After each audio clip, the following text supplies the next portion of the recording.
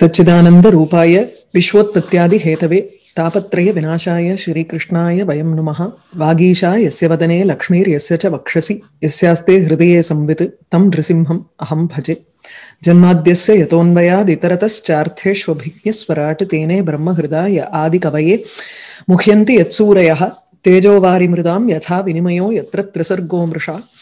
धाम्ना स्वेन सदा निरस्तकुहकं सत्यं परं धीमहि। अथ सप्तमोऽध्यायः शौनक उवाच, निर्गते नारदे सूत, भगवान् बादरायणः श्रुतवांस्तदभि अभिप्रेतं ततः किमकरोद् विभुः? सूत उवाच, ब्रह्मनद्यां सरस्वत्याम् आश्रमः पश्चिमे तटे, शम्याप्रास इति प्रोक्त ऋषीणां सत्रवर्धनः।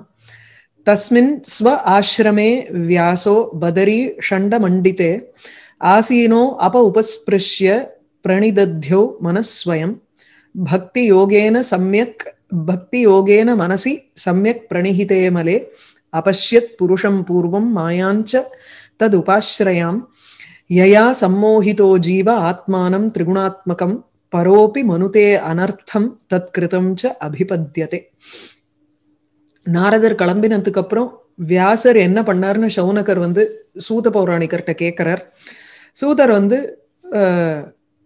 இந்த சரஸ்வதி நதியினுடைய பஷ்டிமே தட்டே ஷம்யாபிராசான்னு ஒரு ஆசிரமத்தினுடைய பெயர். அந்த ஆசிரமத்துல தன்னுடைய ஆசிரமமான அந்த ஷம்யாபிராசங்கிற ஆசிரமம் பதரி இழந்த மரங்கள் இருக்கக்கூடிய ஒரு அலங்கரிக்கப்பட்ட அந்த ஒரு ஆசிரமத்துல உட்கார்ந்துண்டு அனுஷ்டானங்கள் எல்லாம் பண்ணிட்டு பிரணிதத்தியோ மனஸ்வயம் பிரணிதானம் மனசை கொண்டு போய் அந்த பகவானிடத்துல செலுத்தி அவர் வந்து ஏகாகிர சித்தத்தோட உட்கார்ந்துட்டார் அப்படி இந்த பாகவதத்தை எழுதினாருங்கிறதுக்கு வருது.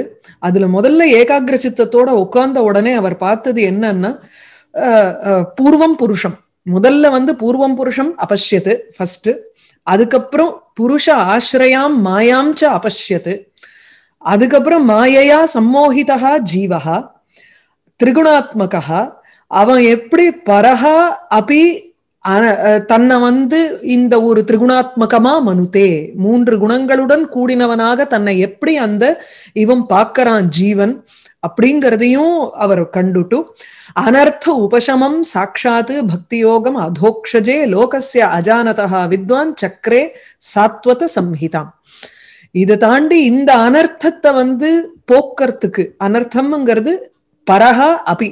எந்த ஒரு திரிகுணத்தினாலையும் சத்வரஜஸ்தமோ ஆத்மகமான மூன்று குணங்கள்னால கட்டுப்படாத இருந்த பொழுதிலும் கட்டுப்பட்டார் போல் பார்க்கக்கூடிய பத்த இவ பார்க்கறான் அதனால்தான் முக்த இவ அப்படிம்பர் முக்தந்தான் அவன். சதா நித்திய முக்தகா தான் ஜீவன். ஆனால் எப்படி அவன் நினைச்சுக்கிறான்? பத்த இவ அதுக்கப்புறம் முக்த இவ நினைச்சுக்கிறான். நிஜமாவே வாஸ்தவம் இல்லாது. நித்தியமுக்த ஸ்வரூபா. சோ அனர்த்த உபசமம் சாட்சாத்து அதோக்ஷஜே பக்தி யோகம் இதிச்ச அபஷ்யத்து.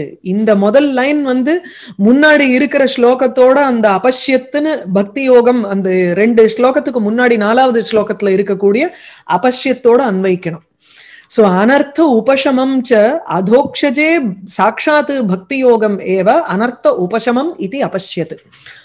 இந்த அனர்த்தங் அத்தியாரோபம்ங்கிற ஒரு அந்த அனர்த்தத்தை போக்குறதுக்கு அதோக்ஷஜே பகவானிடத்துல ஒரு பக்தி யோகம் தான். அதோக்ஷஜங்கிறதுக்கு வந்து அதஹா முன்னாடி சொன்னேன்னு நினைக்கிறேன். அதஹான அந்தஹா.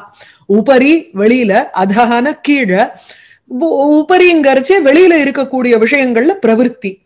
அதஹா கீழங்கிறச்சு அந்தஹா நமக்குள்ள இருக்கக்கூடிய விஷயத்துல பிரவருத்தி. அப்படி அக்ஷ அக்ஷனா இந்திரியங்கள்.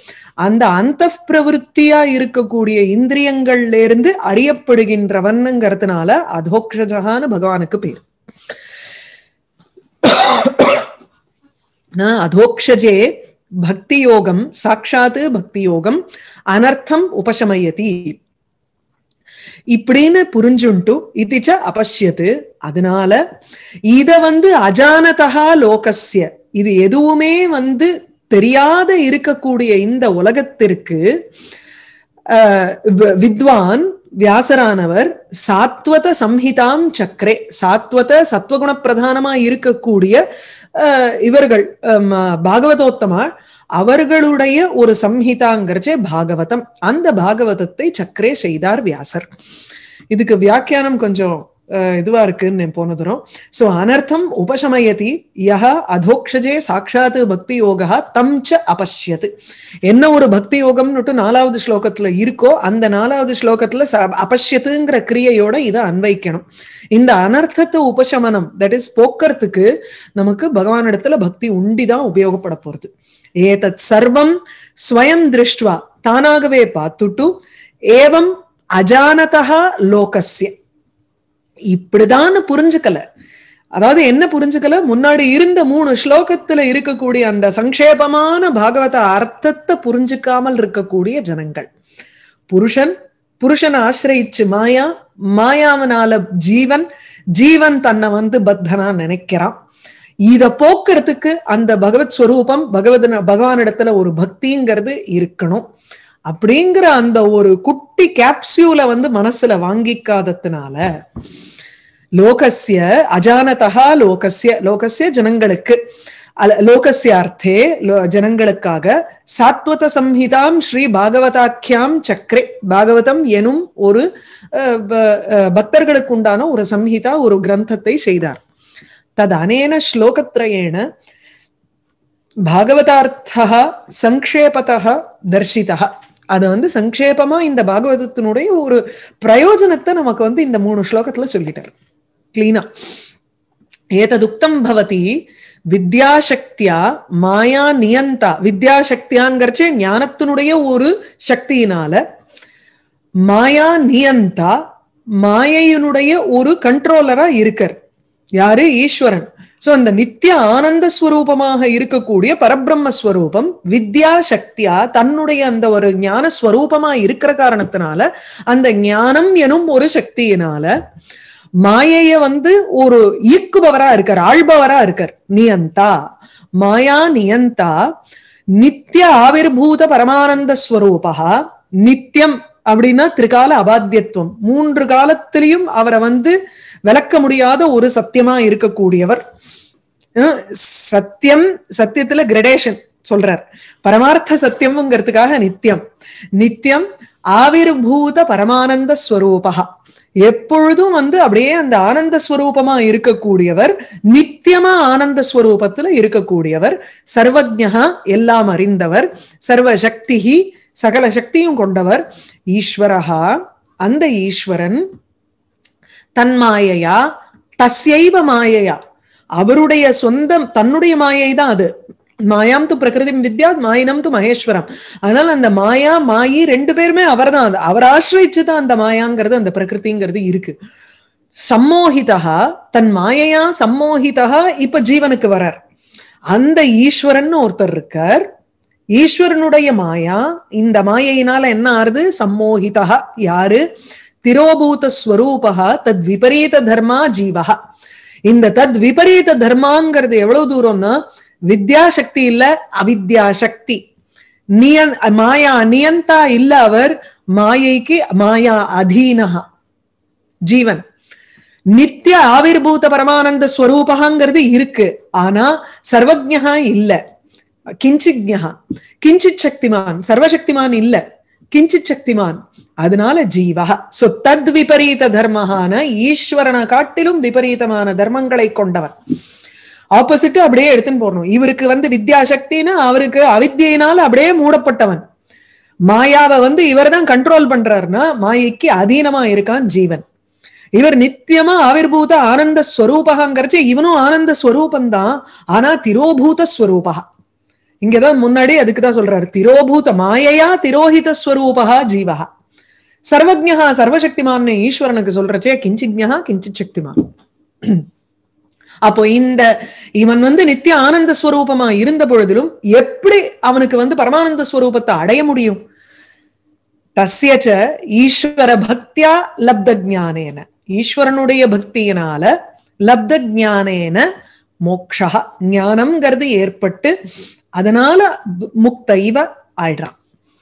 மோட்சம் அடைந்தவர் போல் ஆகிறான். இது வந்து சுத்தாத்வைத்தத்தினுடைய ஒரு கான்செப்ட் ஸ்ரீதர சுவாமி வந்து இந்த இடத்துல ததுக்தம் விஷ்ணு சுவாமினான்னு சொல்றச்சு. இந்த விஷ்ணு சுவாமிங்கிறவர் யாருன்னா ஒரு ரெண்டு மூணு பேர் இருக்கா? யாருன்னு கரெக்டா பின் பாயிண்ட் பண்ணி இன்னைக்கு சொல்ல முடியல. ஏன்னா அவரோட டெக்ஸ்டும் நமக்கு வந்து அவைலபிள் இல்லை. டுவெல்த் செஞ்சுரியில இருந்த ஒருத்தர் சுத்தாத்வைத்தம்னு ஒரு ஒரு இது ஆரம்பிச்சார். ருத்ர சம்பிரதாயம்னு பேரு அவரோடதுக்கு. அவர் சொல்லக்கூடியது என்னன்னா அவரோட ஒரு ஃபாலோவர் தான் ஸ்ரீதர சுவாமி இந்த மாதிரி கொட்டேஷன்ஸ்ல இருந்து தான் நமக்கு வந்து அவரை பத்தி தெரியறது. இல்லைன்னு தெரியல. ஹ்லாதின்யா சம்விதா ஆஸ்லிஷ்டா சச்சிதானந்த ஈஸ்வரா ஸ்வ அவித்யா சம்பிரதோ ஜீவா சங்க்லேஷ நிகராகரா அந்த விஷ்ணு சுவாமிங்கிறவர் அவருடைய புஸ்தகத்துல எழுதியிருக்காரு போல இருக்கு. அதுக்கு வியாக்கியானம் ஸ்ரீதரர் எழுதியிருக்காருங்கிற ரெண்டுமே நமக்கு இன்னைக்கு அவைலபிள் இல்ல. ஹ்லாதின்யா சம்பிதா ஹ்லாதினிங்கிறது ஒரு பரமானந்தமயி சக்தி தயா சம்பிதா ஞானேன. சம்பித்துங்கிறது ஞானம். சொல்றோம் இல்லையோ? எஸ்யாஸ்தே ஹிருதயே சம்பித்து தம் நிருசிம்ஹம் அகம் வஜேன இதுல சொல்றோம் மங்கள ஸ்லோகத்துல. சம்பித்துங்கிறச்சே ஞானம். ஹிளாதினிங்கிறது ஒரு அந்த ஞான ஆகாரமான ஒரு சித்தவிருத்தி. அந்த ஹ்லாதினிங்கிற ஒரு சித்தவிருத்தி ஞான சக்தி இருக்கு அந்த ஞானத்தினால ஹ்லாதின்யா சம்பிதா ஹ்லாதினிங்கிற ஒரு சித்தவிற்த்தினாலையும் சம்பிதா ஞானேன ஆஸ்லிஷ்டா ஆஸ்லிஷ்டகாங்கிறச்சு எப்பவுமே கூட இருக்கக்கூடியவன் ஜீவன். அந்த ஈஸ்வரன். என்ன சச்சிதானந்த ஈஸ்வரகாங்கிறது அடுத்தது. சோ கிளாதின்யா கிளாதினிங்கிற ஒரு சம்பிதா ஞான சக்தியுடன் ஆஸ்லிஷ்டகா எப்பவுமே கூட இருக்கக்கூடிய சச்சிதானந்த ஸ்வரூபமான ஈஸ்வரன் ஸ்வ அவித்யா சம்பிருதா ஸ்வ அவித்யா சம்பிருதா ஜீவகா தன்னுடைய அவித்யா மாயையினால சம்பிருதா மூடப்பட்டவனான ஜீவன். அப்படின்னா அவனுக்கு வந்து தூலா வித்யான் இருக்கோ இல்லையோ ஜீவன் இங்க மூடப்பட்டுட்டான். அவர் வந்து ஹ்லாதினிங்கிற ஒரு ஞான சக்தியோட கூட அவர் இருந்துட்டு இருக்கார் இங்க வந்து ஜீவன் அவித்யினால மூடப்பட்டவனா இருக்கான். சங்க்லேஷ நிகர ஆகரகாங்கிற ஆக்கரகான கனி சொரங்கம். அவன் வந்து சங்க்லேஷ துக்கத்தினுடைய ஒரு சொரங்க மாட்டம் இருக்கானா ஒரு ஜீவன். ஏன்னா அவன் அஜ்ஞானத்தினால அப்படியே மூடப்பட்டு இருக்கான். அதனால இன்னும் நம்ம வந்து துக்கப்படுற மாதிரியும் இது எல்லாமே நம்ம நம்மள அஃபெக்ட் பண்றது அப்படியே ஒடிஞ்சு போயிட்டோம். இந்த மாதிரி ஒரு எப்ப பார்த்தாலும் கருத்தால எழுந்ததுல இருந்து ராத்திரி படுத்துக்கிற வரைக்கும் நமக்கு வந்து துக்கத்தினுடைய ஒரு ஒரு இதுலயே இருந்துட்டு இருக்கோம் இது சரியில்லை அது சரியில்லை இது ஏன் ஒர்க் ஆகல அது ஏன் ஒர்க் ஆகலன்னு புலம்பல்லையே ஓடிட்டு இருக்கு நமக்கு. ராத்திரி தூங்குறச்சே மாத்திரம் கொஞ்சம் சுஷுப்தி அவஸ்தையில இருக்கிறதுனால அந்த கிஞ்சித்து ஆனந்த ஸ்வரூபம் நமக்கு அப்படியே தட்டுறது. அதனால நிம்மதியா தூங்குறோமோ என்னமோ. அது கூட சில பேருக்கு இல்லையே அந்த குடுப்பின. சங்கிலேஷ நிகராகரகா ஜீவன் வந்து தன்னை வந்து ஒரு கிளேஷங்களுடைய ஒரு கனி ஒரு சுரங்கமா நினைக்கிறான். ததா அவ்வாறே இந்த கொட்டேஷன்ஸ் எல்லாமே அவர் விஷ்ணு சுவாமி எழுதின டெக்ஸ்ட்ல இருந்து தான் எடுத்திருக்காருன்னு நினைக்கிறேன். ச ஈஷோ எத்வசே மாயா ச ஜீவஹா யஹ தயா அர்த்திதா யாரு ஈஸ்வரன்னா யாருடைய வசத்துல மாய இருக்கோ? ஜீவன் யாருன்னா தயா அர்த்திதா மாயையினால துன்புறுத்தப்பட்டவனா இருக்கான். அப்படி பீடிக்கப்பட்டவனாக இருக்கான் ஜீவன். ஸ்வ ஆவிர்பூத பரானந்தகா ஸ்வ ஆவிர்பூத சுதுக்க பூஹுவா அங்க ஈஸ்வரன் வந்து மாயையோட இருக்கிறச்சு அவர் எப்படி இருக்காருன்னா சர்வதா ஆனந்த ஸ்வரூபமா இருக்கார். நம்ம இங்க மாயையோட சேர்ந்து இந்த ஜீவன் இருக்கிறச்சு என்ன ஆயிடுறது? துக்க பூஹு பூஹுன கஷேத்திரம். எல்லா துக்கத்துக்கும் இருப்பிடமா ஆயிடுறான் இந்த ஜீவன். ஸ்வாத்ருக் உத்த விபர்யாச பவ பேதஜ பி சுச்சா மன்மாயையா ஜுஷன் நாஸ்தே தம் இமம் நிரு ஹரிம் நுமஹ. ஒரு பெரிய நிருசிம்ம பக்தனா இருக்கணும். அதனாலதான் இவரும் வந்து நிருசிம்மரை வந்து இது பண்றாரோ நம்ம சொல்றாரு ஆரம்பத்துல. ஏன்னா ஸ்வ அதிருக்கு ஸ்வ அதிருக்குங்கிறச்சே தன்னை அறியாமல் இருக்கிற காரணத்தினால. திருக்குன்னு பார்க்கறது அதிருக்குங்கிறச்சு பார்க்காமல் இருக்கிறதுனால தன்னுடைய உண்மையான ஸ்வரூபம் தெரியாததுனால என்ன ஏற்படுறது? விபர்யாசம். பலவிதமான தேக அபிமானங்கள் ஏற்படுறது. அந்த தேக அபிமானத்தினால பவ தேக அபிமானங்கள் உண்டாருது. அந்த தேக அபிமானங்கள் என்ன? இந்த உலகத்துல இருக்கக்கூடிய பலவிதமான பேதங்கள் பவ பேதஜ பீஷுச்சா விஷயங்களை பொறுத்தவரையில் பயம். ஐயோ இது கிடைக்கலன்னா நம்ம என்ன பண்ணுவோங்கிற ஒரு பயம். கிடைக்கலையே கிடைக்குமா கிடைக்காதாங்கிற ஒரு பயம் கிடைக்கலையேங்கிற ஒரு துக்கம். ரெண்டுமே நமக்கு ஒட்டி வந்துரும் இதோட. ஏன்? நம்மளுடைய உண்மையான ஸ்வரூபம் நமக்கு தெரியாததுனால இந்த தேகத்துல நமக்கு அபிமானம் இருக்கு. ஸ்வ அதிருக் விபர்யாச பவ பேதஜ பி சுஜகா இதெல்லாம் எப்படி போகும்? மண்மயா மாயையா ஜுஷன்னு ஆஸ்தே. என்னுடைய மாயையினால இதெல்லாம் அனுபவிச்சுட்டு இருக்கான் அதனால தம் இமம் நிருஹரிம் நுமஹா. நரஹரிய நம்ம வந்து நமஸ்காரம் பண்ணோம்னா நமக்கு எல்லா விதமான ஒரு இதுவும் போயிடுங்கிறத பக்தியினால நமக்கு போகுங்கிறதையும் இங்க சொல்ற உம் இத்தியாதி. இதுல இருந்து நமக்கு என்ன இத இந்த நக்ஷல் இப்ப மூணு ஸ்லோகத்துல சொன்ன விஷயத்தை தான் இந்த மூணு ஸ்லோகத்திலையும் அவர் சொல்றார். சோ இது இதையதான் இதையதான் வேற விதமாக அங்க விஷ்ணு சுவாமிங்கிறவர் சொல்லியிருக்காருன்னு ஸ்ரீதரர் நமக்கு எடுத்து தரார். சோ ஆகையினால அனர்த்தோபசமம் சாட்சாத் பக்தி யோகம் அதோக்ஷஜே லோகசிய அஜானதா வித்வானு சக்கரே சாத்தத சம்ஹிதா. ஜனங்களுக்கு தெரியல அவளுக்கு புலப்படுத்தணும் அவளுக்கு தெரிய வைக்கணுங்கிறதுனால ஒரு சுலபமான வழியில அப்படியே ஒரு ஒரு இது மாதிரி ஸ்வீட் மாதிரி நமக்கு அந்த பாகவதத்தை கொண்டு வந்து கொடுத்திருக்காரு. வியாசர். எஸ்யாம் வை ஸ்ரூயமானாயாம் கிருஷ்ணே பரமபூருஷே பக்திர் உற்பத்தியதே பும்சா சோக மோக பய அபகா சோகத்தையும் மோகத்தையும் பயத்தையும் அபகா போக்கக்கூடியதாக இருக்கும் பக்தியானது பக்திஹி பும்சகா உற்பத்தியதே ஒரு மனுஷனுக்கு உண்டாகிறது. எப்படி? எஸ்யாம் ஸ்ரூயமானாயாம். எஸ்யாம் எஸ்யாமங்கிறச்சு அந்த அனர்த்த உபசமாத்மகம் சம்ஹிதா. உபசமாத்மிகா சம்ஹிதா. இல்லையா? சம்ஹிதாயாக அனர்த்த உபசம ஆத்மகத்துவம் தர்ஷயதி. எப்படி வந்து அனர்த்தத்தை போக்குறதுக்கு ஒரு வல்லமை கொண்டதா இருக்கு இந்த பாகவதம்? அப்படிங்கிற சம்ஹிதை. எப்படின்னா எஸ்யாம் வைஸ்ரூயமானாயாம் எந்த ஒரு சம்ஹிதைய கேட்டதுனால கிம் புனகா ஸ்ருதாயாம்ங்கிறார். ஸ்ரூயமானாயாம்ங்கிறச்சு இது வந்து எதுக்கு இந்த ஸ்ருதாயாம்னு போடுறாருன்னா கேட்டுண்டே இருக்கிறச்சேயே போக்கிடுறதுன்னா ஒரு தடவை முழுக்க நம்ம கேட்டோம்னா என்ன ஆகும்னு கேக்குறாரு. அதுதான் அந்த பதம் பதாம்சம் ஒரு அரை பாதமாவது கேட்கணும்னு சொன்ன போல ஒரு அரை ஸ்லோகமாவது கேட்க சொல்லணும் பாகவதத்தை அப்படின்னு. அதுக்கு இங்க சொல்ற ஸ்ரூயமானாயாம்னா கேட்டுண்டே இருக்கிறச்சு நமக்கு வந்து என்னமோ ஒரு ஒரு வேற லெவல்ல இருக்கிற மாதிரி நமக்கு தோணும். எல்லா இந்த இந்த உலகத்தை காட்டிலும் ஒரு ஒரு பிளேன் மேல இருக்கிற மாதிரி நமக்கு ஒரு ஃபீலிங் இருக்கு. கேட்டுண்டே இருக்கிறச்சு. அப்ப கேட்டு முடிச்சு அதை உள்வாங்கி நம்ம வந்து அனுபவிச்சோம்னா எப்படி இருக்கும்னு யோசிச்சு பாருங்கோங்கிறார்.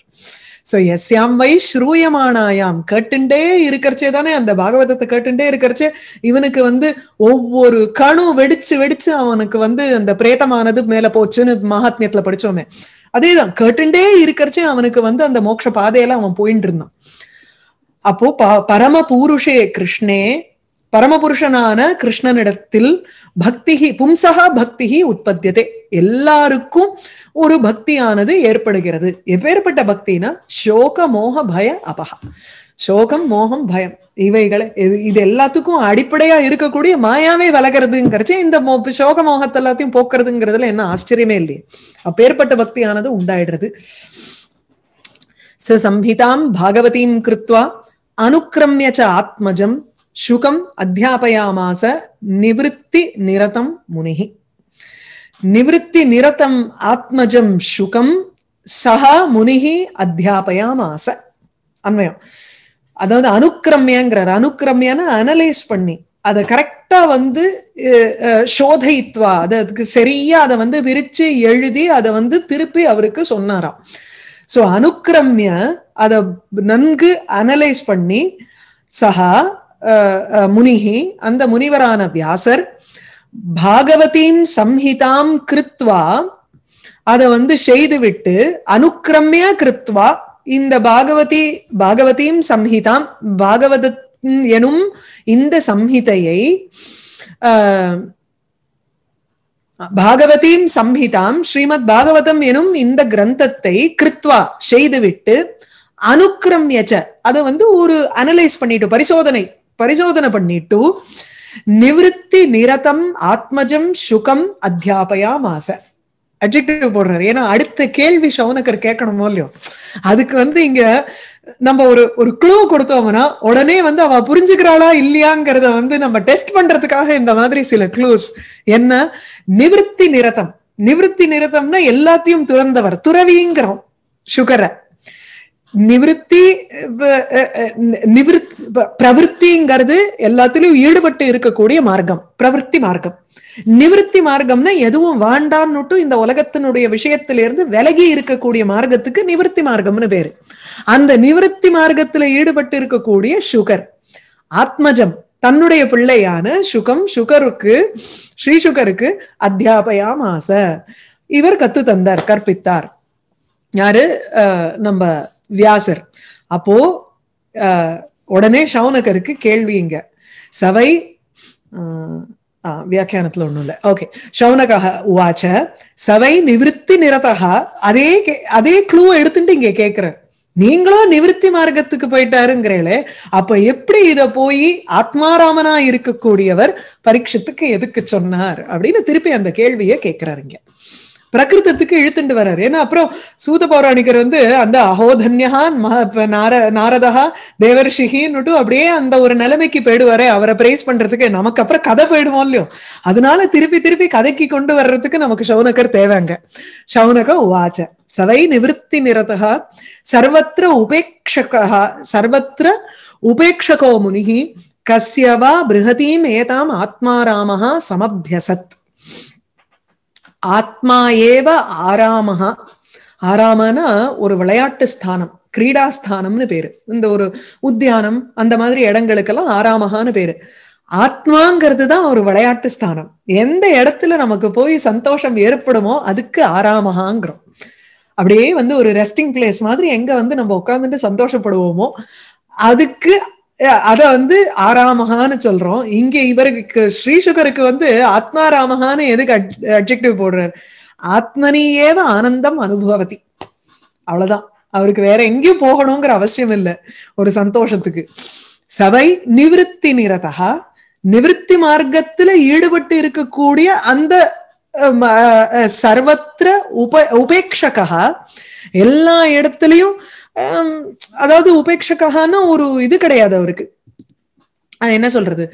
ஆஹ் இது கிடையாது. எதுலுமே ஒரு பற்று கிடையாது. உபேக்ஷா இக்னோர் பண்ண மாட்டார்னு அர்த்தம். அபேக்ஷான எதிர்பார்ப்பு உபேக்ஷான வந்து ஒரு விளக்குறது. அந்த மாதிரி எந்த ஒரு விஷயத்திலையும் எதையாவது பிடிக்கலன்னு தானே விளக்குவோம். ராகத்வேஷம் இருக்கிற இடத்துலதான் உபேக்ஷா அபேக்ஷா ரெண்டுமே இருக்கும். ராகம் இருக்கிற இடத்துல அபேக்ஷா எதிர்பார்ப்பு இருக்கு. துவேஷம் இருக்கிற இடத்துல உபேக்ஷா இருக்கு. எனக்கு வேண்டான்னு ஒதுக்குறோம் துவேஷத்துல. இது எனக்கு பிடிக்கலன்னு சொல்லி ஒதுக்குறது. அந்த மாதிரி சர்வத்திர உபேட்சகாங்கிறச்சு எதிலுமே பற்று இல்லாதவராக இருந்ததுனால எதுலயுமே அவருக்கு வந்து ஒரு இதுவும் கிடையாது. வெறுப்புங்கிறதும் கிடையாது. நிவிருத்தி நிரதகா நிவிருத்தி மார்க்கத்துல ஈடுபட்டு இருக்கக்கூடியவரான ஆத்மாராமகா ஆத்மா ஆத்மானந்தத்துல அப்படியே தளச்சு நிற்கக்கூடியவரான சமுனிகி அப்பேற்பட்ட அந்த ஸ்ரீசுகர் அவரை பத்தி பல இடங்கள்ல இது வரைக்கும் நம்ம பார்த்திருக்கோமே டிஸ்கிரிப்ஷன் கஸ்யவா பிருகதீமேதாம் சம்ஹிதாம். இந்த பெரிய இந்த ஒரு கதையை இந்த கிரந்தத்தை சமபியசத்து கஸ்ய கஸ்ய யாருக்கு அல்லது கஸ்யவா ஹேதோஹோ எந்த ஒரு காரணத்துக்காக இவர் கீழே அப்படிதான் சொல்றார் ஸ்ரீதர சுவாமி.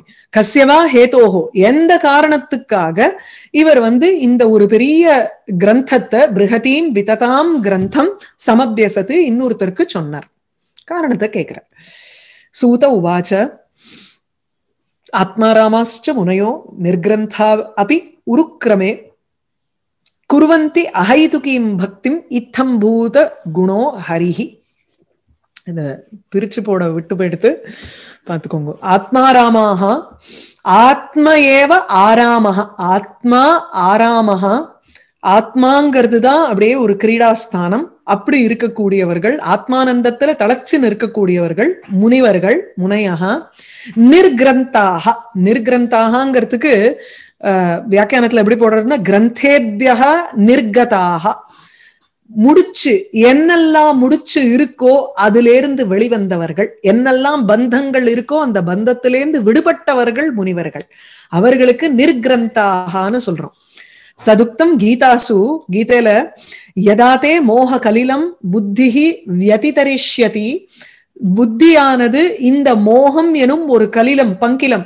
இந்த ஒரு அப்படியே ஒரு சேர் மாதிரி இருக்கக்கூடிய இந்த மோகத்தை வந்து எப்போ உன்னுடைய புத்தியானது வியதிதரிஷ்யதி அதை தாண்டுகிற தாண்டணும்னு ஆசைப்படுறதோ ததா கந்தா அசி அப்பொழுது நிர்வேதம் ஸ்ரோதவியசிய ஸ்ருதசியச்ச நிர்வேதம் கந்தா அசி.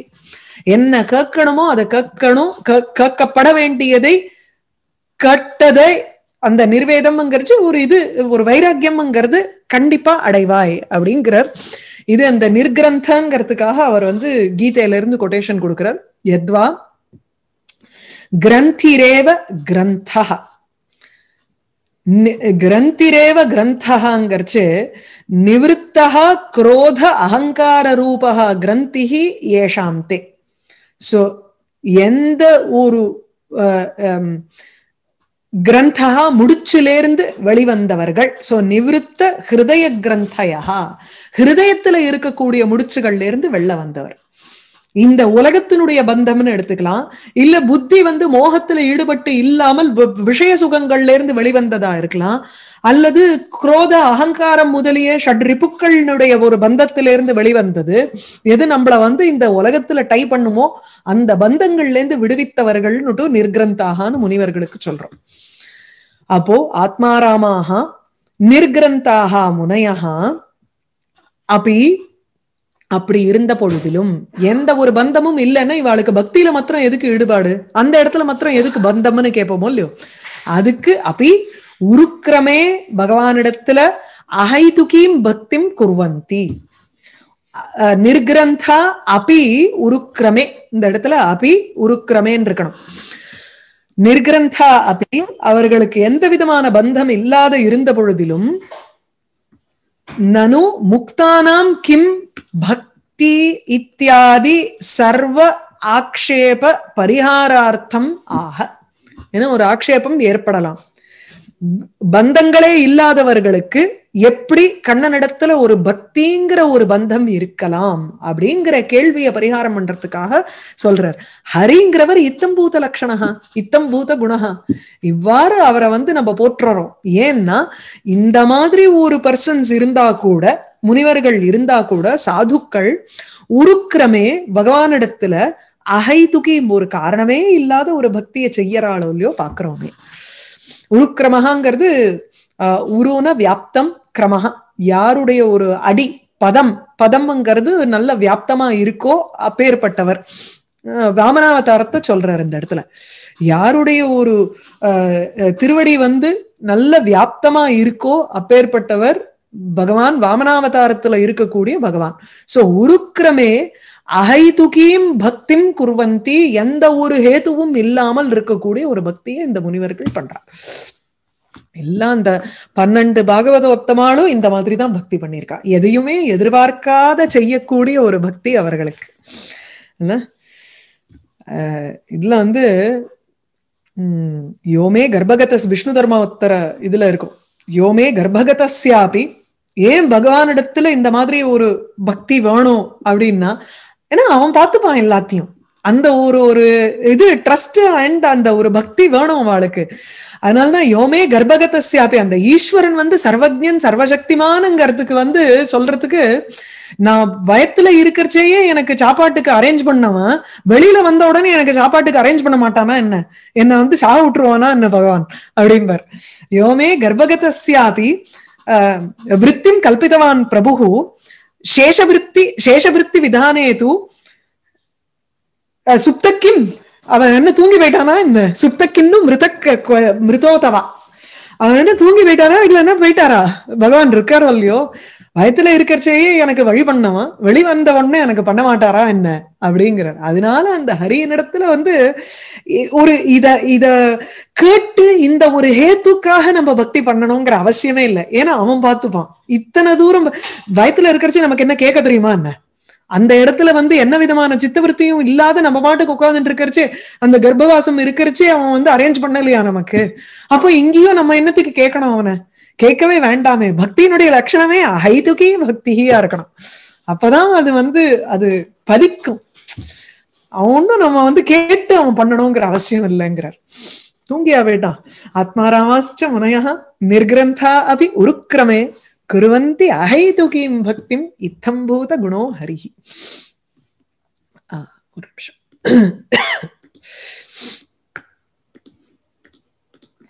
ஹரேர் குண ஆக்ஷிப்த மதிஹி பகவான் பாதராயணிஹி அத் அத்தியகாத் மகத் ஆக்கியானம் நித்தியம் விஷ்ணு ஜன பிரியா அதே ரீசன் தாங்கிறார். ஆத்மாராமனா இருந்தாலும் ஹரியனிடத்துல ஒரு அகைதுகி பக்தி பண்றான்னா அவனுடைய குண கணங்கள்ல வந்து ஆக்ஷிப்த மதிகி ஹரேஹே ஹரியனுடைய குணங்களில் ஆக்ஷிப்த மதிகி ஆக்ஷிப்தம்னா அப்படியே ஈடுபட்டு இருக்கக்கூடிய ஒரு மதி புத்தியை கொண்டவர்களாக இருக்கும் காரணத்தினாலேயே அந்த பகவானுடைய ஒரு பிரியத்தை வந்து சொல்லணும்னு ஆசைப்படுறா. அந்த குணங்கள் கணங்களை சொல்லணும்னு ஆசைப்படுறா. ஏன்னா விஷ்ணுஜன பிரியா. விஷ்ணுவனிடத்துல பக்தி இருக்கக்கூடிய ஜனங்கள் அவர்களிடத்துல ஒரு பிரியத்தை கொண்டவரான பாதராயணிகி பாதராயணகா வியாசர் பாதராயணிஹிங்கிறச்சு தஸ்ய அபத்தியம் புமான் பாதரா தாசரதிஹி மாதிரி. இப்படி பாதராயணிஹிங்கிற பதம். பாதராயணிஹிங்கிறது ஸ்ரீசுகர். ஸ்ரீசுகர் பகவான் பாதராயணிஹி ஸ்ரீசுகர் ஹரேஹே குண ஆக்ஷிப்தமதிஹி ஹரியனுடைய குணங்களில் ஈடுபட்டிருக்கக்கூடிய மனதை கொண்டவராக மகத் ஆக்கியா விஷ்ணு ஜன பிரியாச்ச விஷ்ணு விஷ்ணுவனுடைய விஷ்ணு ஜனாக பிரியாகா எஸ்ய. யாருக்கு வந்து விஷ்ணுவனுடைய ஜனங்கள் எல்லாரும் யாருக்கு பிரியமாக இருக்கிறார்களோ அப்படின்னா விஷ்ணு பக்தர் சாதுக்களுக்கு வந்து ஒரு சாது இன்னொரு இன்னொரு ஒரு பக்தாளை பார்த்த உடனே அவளுக்கு தன்னறியாத ஒரு ஒரு ஸ்வத்வம் அங்க வந்துரும். ஒரு பந்துத்துவம் வந்துரும் அங்க. அதுக்காக சொல்றாரு விஷ்ணு ஜன பிரியாக எதுவும் இல்லாத அதை பத்தியே பேசிட்டு இருப்பாவா? அந்த மாதிரி சாதுக்கள்.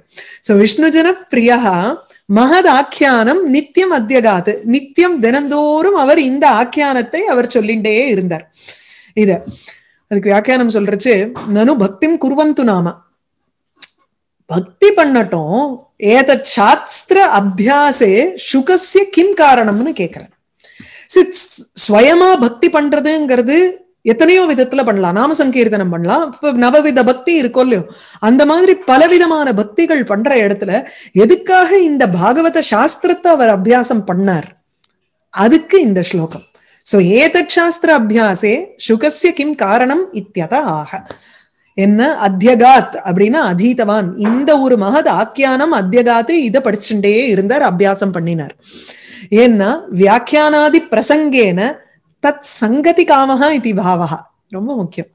இந்த வியாக்கியானாதி பிரசங்கேன இந்த விஷ்ணு ஜனப்பிரியகாங்கிறச்சு விஷ்ணுவினிடத்துல பக்தி இருக்கக்கூடிய ஜனங்களை பிடிக்குங்கிறதுனால அவர்களுக்கு கண்ணனுடைய குணத்தை சொல்றச்சு இவர் இன்னும் வேற வேற விதமா ஒரு ஆனந்தம் அடையலாமோ இல்லையோ?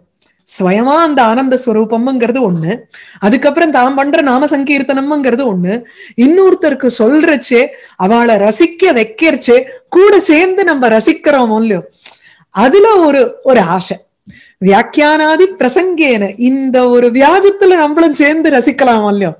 நான் உட்காந்து பறிக்கிறதுங்கிறது ஒரு பக்கம் இருந்தா கூட ஒரு தடவை எடுத்து சொல்றச்சே கூட சேர்ந்து நானும் ரசிக்கிறேன் இல்லையோ?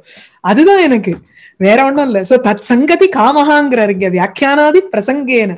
அந்த ஒரு வியாஜத்துல அப்படியே அந்த பகவானோட ஒரு ஒரு ஒரு சேர்க்கையில இருக்கிறோமோ அப்படிங்கிற ஒரு ஆசைதான். அவனை பத்தி அந்த தெள்ள தெள்ள தவிட்டாத அது எது சொல்லுவோமே அந்த ஒரு அமிழ்து மாதிரி அந்த ஒரு நாமம். ஏதேன தஸ்ய புத்திரோ மகாயோகி இத்தியாதினா சுகசிய வியாக்கியானே பிரவருத்தி கதம் இது எது பிருஷ்டம் தஸ்ய உத்தரம் உத்தம் அவர் புத்திரன் வந்து பெரிய யோகி மகா யோகி ஆஹ் முன்னாடி அதாவது இந்த நாலாவது அத்தியாயத்துல சொன்னார் தசிய புத்திரோ மகாயோகி சமுத்திருக்கு நிர்விகல்பகாங்கிறார் சமத்ரிக் நிர்விகல்பகா எல் எல்லாத்துலயும் வந்து அப்படியே சமமான ஒரு பார்வையை கொண்டவர் நிர்விகல்பக சமாதியில இருக்கக்கூடியவர் எதுக்காக ஹரிபக்தி பண்ணணும்னு கேட்கறச்சே இங்க வந்து விஷ்ணுஜன பிரியா அதுக்கப்புறம் குண ஆக்ஷிப்த மதிகி அந்த குணங்கள்ல அவருக்கு ஈடுபாடு இருக்கிறதுனாலையும் விஷ்ணு ஜனங்கள் விஷ்ணு பக்தர்களை வந்து பிடிக்குங்கிற காரணத்தினாலையும் அவளுக்கு சொல்ற வியாஜத்துல அவரும் அந்த கண்ணனை வந்து ரசிக்கலாமோ இல்லையோங்கிற ஒரு ஒரு இதனால அவர் சொன்னார் அப்படின்னு. சோ அவருக்கு எப்படி வியாக்கியானத்துல பிரவருத்தி ஏற்பட்டதுங்கிறதுக்கு இந்த ஸ்லோகம் பதில். மேல பரீட்சிதோ அத ராஜர்ஷேகே ஜன்ம கர்ம விலாயனம். சம்ஸ்தாம் ச பாண்டுபுத்திராணாம் வக்ஷியே கிருஷ்ண கதா உதயம். இப்போ வந்து அந்த கிருஷ்ண கதா உதயம் கண்ணனுடைய கதையினுடைய உதயம் ஆரம்பம் எப்ப ஏற்பட்டது அப்படின்னா பரீட்சித்தினுடைய ஜன்ம கர்ம விலாயனம் இது மூணுத்தையும் சொல்றதுனால அது அதுல இருந்து ஆரம்பிச்சு அதுக்கு முன்னாடி முன்னுரையாக பாண்டுபுத்திராணாம் சம்ஸ்தா சம்ஸ்தானம்னா வந்து மகாபிரஸ்தானம் எல்லாத்தையும் நான் சொல்றேன் அப்படிங்கிறார். சோ ஆரம்பம் எங்கன்னா அஸ்வத்தாமா வந்து எப்படி திரௌபதியினுடைய குழந்தைகளினுடைய சிரச்சேதம் பண்றான். அதுக்கப்புறம் பிரம்மாஸ்திரத்தை விடுறச்சு எப்படி போய் பரீட்சித்த வந்து காப்பாத்துறது பகவானுடைய சுதர்சன சக்கரம்ங்கிற அந்த ஒரு எபிசோட்ல இருந்து ஆரம்பிக்கிறேன். முன்னுரையாக. எதையுமே நேர டமால்னு கண்ணான் பிறந்தான் அப்படின்னு ஆரம்பிக்கிறத விட எந்த ஒரு சந்தர்ப்பத்துல பரீட்சித்துக்கு சொல்ல நேர்ந்தது அந்த பரீட்சித்துக்கு எப்படி ஆரம்பிச்சார் ஸ்ரீ சுகர் அப்படிங்கிறதுக்காக முன்னுரை. இதெல்லாம் இன்னும் ப்ரோலாக்லயே இருக்கோம் நம்ம. பரீட்சிதா அத பிறகு ராஜர்ஷேகே பரீட்சிதா ராஜர்ஷியான ராஜாவாகவும் இருந்து கொண்டு ரிஷி துல்லியமா அவர் விவகாரம் பண்ணினாருங்கிறதுனால பரீட்சித்துக்கு ராஜர்ஷிங்கிறார். ராஜரிஷேகே பரீட்சிதா பரீட்சித்தினுடைய ஜன்ம கர்ம விலாயனம். பரி விலாயனம்னா முக்தி அல்லது மிருத்யு ரெண்டுமே. ஜன்ம சோ இது என்ன? அந்த அவதாரிக்கையை முதல்ல பார்த்துடலாம். எது அந்நது பிருஷ்டம் முன்னாடி இன்னொன்னு என்ன கேட்டார்னா பரீட்சிதா பிராயோபவேஷேன அவர் வந்து பிராயோபவேஷம் பண்றதுக்காக உட்கார்ந்தப்போ சிரவணம் கதம். எதுக்காக பாகவதத்துல ஒரு ருச்சி வந்து உட்கார்ந்துட்டு கேட்டார்? அப்போ அவருடைய ஜன்மாவிலிருந்து எடுத்தாகணும். எல்லாமே சம்ஸ்காரத்துல இருக்குங்கிறது நம்மளுடைய ஒரு ஆழ்ந்த இது இல்லையா? தியரி. அதனால நமக்கு வந்து அந்த ஒரு சம்ஸ்காரம் எப்படி பகவானுடைய ஒரு குணகணங்களை கேட்கணுங்கிற ருச்சி அந்த பரீட்சத்துக்கு வந்து கர்ப்பவாசத்துல இருந்து ஏற்பட்டதுங்கிறதுக்காக வர்றார் அதுதான் மூலம். இல்லைன்னா பிராயோபவேஷம் பண்ணணும்னு ஆரம்பிக்கிறவன் எப்படி இங்க ஏழு நாள் ஸ்ரீசுகர் சொல்றத கேட்கணும்னு ஆசைப்படுறாரு. இல்லையா? அந்த ஒரு கேள்விக்கு பதில் இங்க. சோ தஸ்ய ஜன்ம மகாச்சரியம் இத்தியாதினா தஸ்ய உத்தரம் பக்தும் ஆக அந்த பதில் கூறுறதுக்காக இங்க ஆரம்பிக்கிறார். ராஜர்ஷேகே பரீட்சிதா ராஜர்ஷியான பரீட்சித்தினுடைய ஜன்ம பிறப்பு கர்ம செயல் விலாயனம் முக்தி. இவைகளையும் அதுக்கப்புறம் பாண்டுபுத்திரானாம் பாண்டவர்களினுடைய சம்ஸ்தாம்ச சம்ஸ்தாங்கரிச்சு மகாபிரஸ்தானம் இதுக்கு யமலோகத்துக்கு நோக்கி அவ கிளம்புறாள் இல்லையா? அந்த ஸ்வர்காரோகணம். ஸ்வர்காரோகணத்தை இங்க சொல்றார். அந்த சம்ஸ்தாம் கிருஷ்ண கதா உதயம் வக்ஷியே. இது வந்து கிருஷ்ண கதாவனுடைய உதய ஆரம்பம். இதுதான் அதுக்கு முன்னுரை அப்படிங்கிறதுனால பரீட்சத்தினுடைய ஒரு ஜன்ம கர்ம முக்தி இவைகளை கூறிவிட்டு அதுக்கப்புறம் கிருஷ்ணனுடைய அத பாண்டுபுத்திரர்களுடைய ஒரு பிரஸ்தானத்தையும் சொல்லி கிருஷ்ண கதையை ஆரம்பிக்கிறேன் அப்படின்னு சொல்லி ஆரம்பிக்கிறார். அதுல முதல்ல வந்து யதா மிருதே கௌரவ சிருஞ்சயானாம் வீரேஷு அதோ வீரகதிம் கதேஷு விருகோதராவித்த கதாபிமர்ஷ பக்னோருதண்டே திருதராஷ்டிரபுத்திரே சுச்சுவேஷனை முதல்ல சொல்றார். நமக்கு வந்து எந்த டைம் ஃப்ரேமை வந்து முதல்ல எடுக்கணும்? அந்த காலத்துல அப்படின்னு ஆரம்பிக்கிறச்சே மிருதே. முதல்ல வந்து மிருதான சண்டை. அந்த சண்டையில கௌரவ சிருஞ்சயானாம் மிருதே. அந்த கௌரவர்களுக்கும் சிருஞ்சயங்கிறது பாண்டவர்கள் இந்த குரு வம்சத்துல பிறந்தவர்கள் கௌரவர்கள் மாத்திரம் இல்லையே. நியாயமா பார்த்தா நமக்கு வந்து பாண்டவாளும் கௌரவாதான். ஆனா இங்க வந்து அந்த சிரிஞ்சயங்கிறது வந்து திருஷ்டத்யும்னனுடைய வம்சம்ங்கிறதுனால அந்த வம்சத்துல பிறந்தவர்கள்ங்கிறதுக்கு சொல்றாருங்க பாருங்க. எத்யபி பாண்டவாக அபி கௌரவா ஏவ.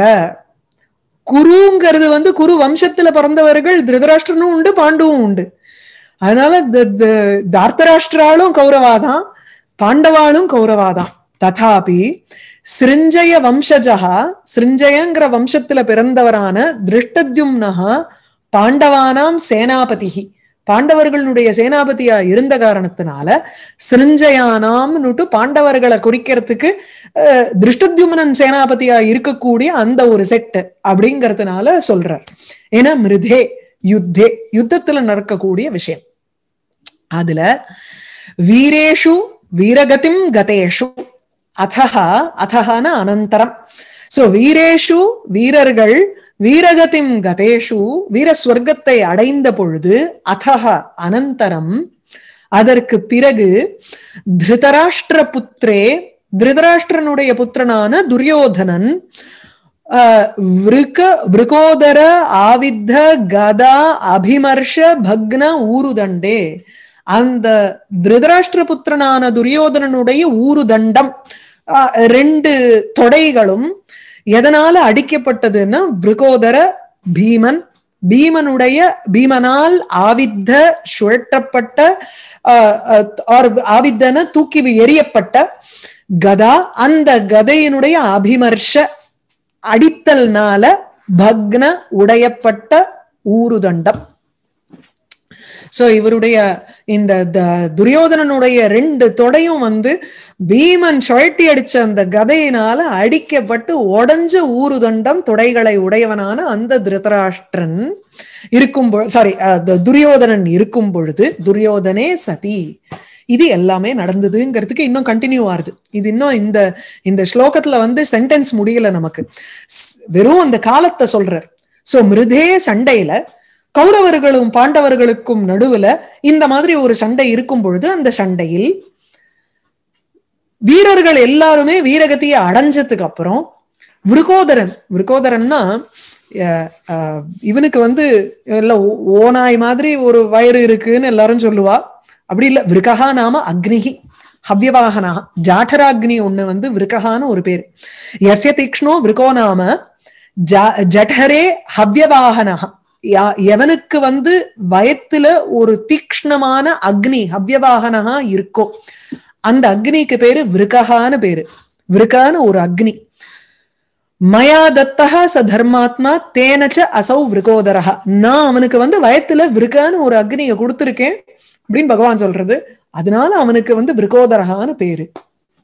உதரே உதரம் வயிற்றில் விருக எனும் ஒரு அக்னி இருக்கக்கூடியது. அதனால பீமனுக்கு அப்படி விருகோதரன் பேரு. விருகோதர ஆவித்த அவனுடைய ஒரு கதையினால அடிக்கப்பட்ட தொடையை கொண்ட இந்த துரியோதனன் இருக்கும் பொழுது என்ன நடந்ததுங்கிறத சொல்ல போறார். அதை நமக்கு முன்னாடியே இங்க வந்து அவதாரிக்கையில சொல்லிடுறார். சோ தத்ர பரீட்சிதா ஜன்ம நிரூபயிஷ்யன்னு பரீட்சித்தினுடைய ஜென்மாவை குறிப்பிட்டு ஆதௌ முதலில் தாவது கர்ப்பஸ்தேயேவ அஸ்வத்தாம்னஹா பிரம்மாஸ்திராத் கிருஷ்ணேன ரக்ஷிதா சொன்னேனே சம்ஸ்காரம் ஆனோன்னுட்டோ. கர்ப்பத்திலேயே அஸ்வத்தாமாவனுடைய ஒரு பிரம்மாஸ்திரத்தினால பிரம்மாஸ்திரத்திலேருந்து கிருஷ்ணன் இவரை ரட்சித்தார் யார? பரீட்சித்தார். அப்படின்னு அந்த இதி வக்தும் கதாம் பிரஸ்தௌதி. அத சொல்றதுக்காக இங்க கதையை ஆரம்பிக்கிறார். பீஜம் அதுதான். அங்கேயே கண்ணன் வந்து பீஜத்தை போட்டுட்டான். அதனால பின்னாடி பிராயோபவேஷம் போகரிச்சு நான் கண்ணன் கதையை சொல்றேன்னு உடனே ஏன் உட்கார மாட்டானா என்ன? கண்டிப்பா உட்காருவான். அது அந்த அந்த சம்ஸ்காரம் அங்கேருந்து வந்திருக்கு. சோ எதா திரௌணிகி அஸ்வத்தாமா கிருஷ்ணா சுதானாம் திரௌபதி புத்திரானாம் ஷிராம்சி உபாகரத்து தலைகளை வெட்டினானோ ததா அப்பொழுது ஆஹ் இது வந்து அடுத்த ஸ்லோகத்துல இருக்கு இது. சரி. எப்பொழுது கிருஷ்ணா சுதானாம் கிருஷ்ணா இவளுடைய அதாவது திரௌபதியினுடைய பிள்ளைகள் அந்த திரௌபதி புத்திரானாம் ஷிராம்சி தலைகளை உபாகரத்து கொய்தான். அப்படியே வெட்டினானோ ததா தன் மாதா அப்போ திரௌபதி அழுதுன்னு இருந்தா அருதத்து அவ அழுதா தாம்ச சாந்த்வயன்னு அவளை சாந்த்வனப்படுத்தி கிரீட்டமாலி அர்ஜுனஹா ஆக அப்படின்னுட்டு மூணாவதோட நம்ம இதை முழுக்க அன்வயம் பண்ணிக்கணுங்கிறதுக்காக சொல்றார். இங்க நமக்கு நட்சல்ல. மத்த ரெண்டு ஸ்லோகத்தையும் நம்ம நெக்ஸ்ட் கிளாஸ் பார்ப்போம். இதோட இதுவரையில் இன்னைக்கு முடிச்சுக்கிறேன். வாகீஷா எஸ்ய வதனே லக்ஷ்மீர் எஸ்ய வக்ஷசி எஸ்யாஸ்தே ஹிருதய சம்பித்து தம் நிருசிம்ஹம் அஹம் பஜே.